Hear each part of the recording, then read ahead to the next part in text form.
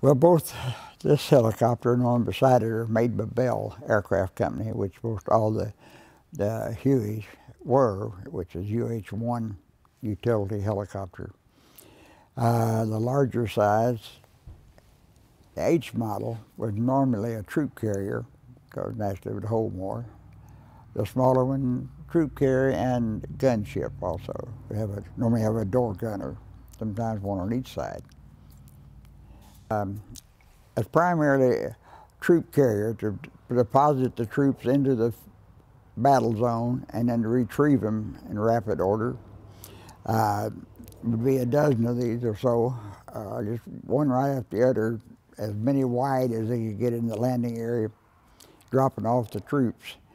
And, and also a rapid distraction if they had to pick them up in a hurry, they should always on standby to move one way or the other.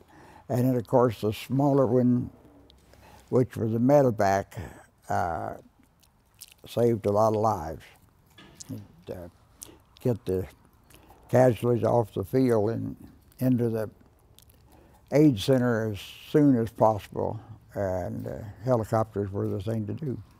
That type of warfare in the jungle couldn't have happened without these.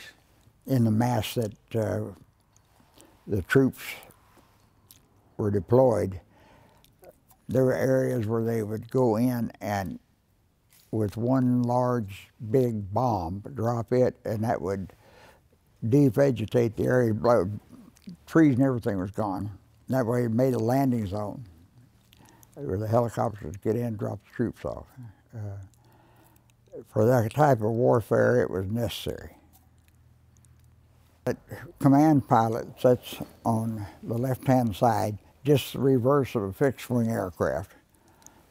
And he's got visibility straight down to below the rudder pedals of the ground, and then the troops in the back. And the gunners, they use door gun machine guns, M60s or light heavy 30s, and not.